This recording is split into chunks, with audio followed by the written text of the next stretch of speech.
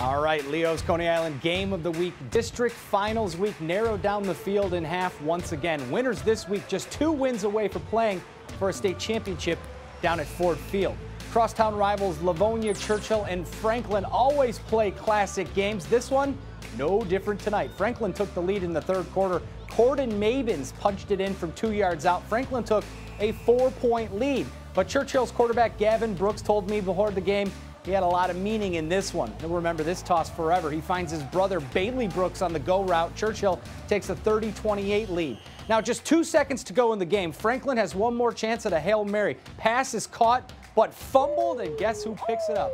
Boston Clegg Jr. Scoop and score. Livonia Churchill comes from behind for the second straight game against Franklin this season alone, marching on to the regional 36-28, the final.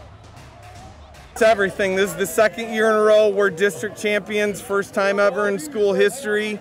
And uh, at this point in the year, like the other teams, you're just playing to get another week. So we're in the final eight. We were here last year. Last year we came close. This year we want to get it done next week. And we've got regionals next week, state semifinals, and of course the finals just three weeks away, guys. Wow, what a finish there, huh? Very exciting stuff. We're back in a moment.